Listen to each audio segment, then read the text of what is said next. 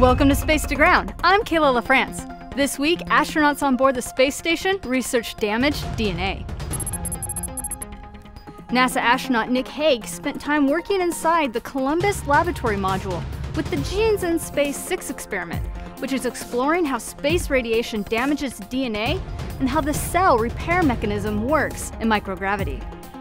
Increased exposure to radiation can affect long-term health, with DNA damage linked to the increased risk of cancer and other degenerative diseases. Genes in Space 6 will study the DNA repair mechanisms that cells use by inducing DNA damage and assessing mutation and repair at the molecular level. An increased understanding of how cells repair DNA damage while in microgravity can contribute to future methods to protect astronauts on the space station and future missions to the moon and beyond.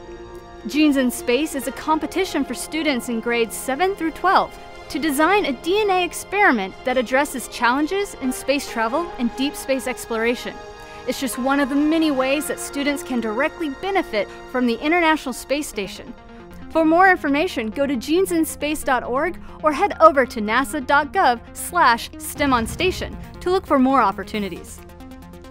This week's question comes from Matthew DeFrancesco, who wants to know if astronauts get medical care when they return to Earth.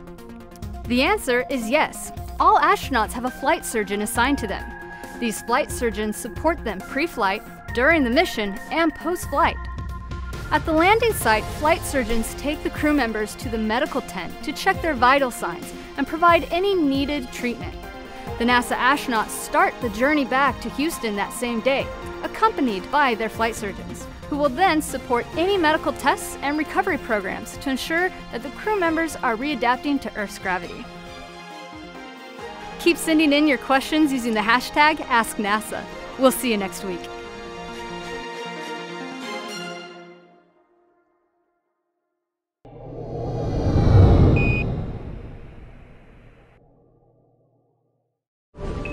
Subscribe for more space.